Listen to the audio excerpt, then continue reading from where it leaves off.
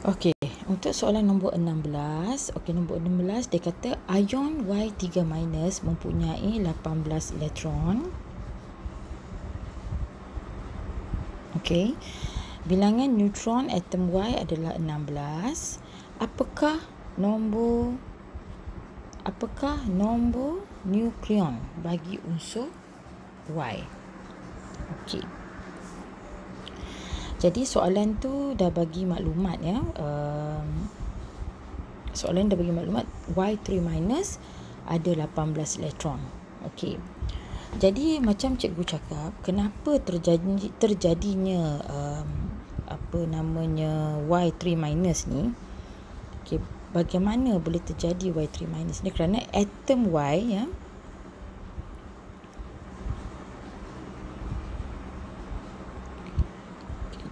atom Y Okay, atom Y ni sedang menerima ni. Asalnya sebelum jadi Y3 minus dia adalah atom Y, ion. Y3 minus ni adalah ion. Ya. Adalah ion. Jadi sebelum uh, ion Y3 minus terjadi, atom Y sedang melakukan sesuatu tindak balas. So, apa atom Y ni buat? Okey, atom Y ni apabila adanya tindak balas kimia terhadap atom Y, atom Y ni sedang menerima sedang menerima berapa elektron tu? Tiga elektron. Ya. Jadi, kalau susunan elektron untuk uh, ion Y adalah 2, 8, 8. Kan 18 kan? Uh, petala shell pertama wajib penuh 2. Shell kedua wajib penuh 8. Dan shell ketiga sepatutnya 8 atau 18. Tapi disebabkan hanya 18 elektron, ada balance lagi takkan nak 18 kan? Mesti balance-nya lagi lah 8. So, sudah penuh.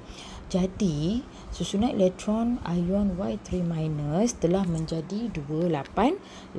Jadi, kita boleh agak semasa dia jadi atom Y, mestilah susunan elektronnya adalah 28 berapa? 5. Atom Y ni sedang menerima 3 elektron. That's why dia jadi ion Y3 minus iaitu 288. Jadi kita tahulah atom Y ni mempunyai bilangan elektronnya. Ini bilangan elektron dia 18 kan?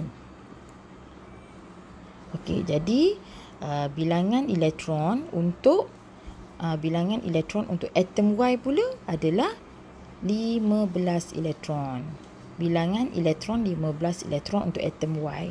Untuk ion 8 18. Jadi atom ni adalah neutral. So bila dia neutral, bilangan elektron mesti sama banyak dengan bilangan proton. So proton dia pun 15.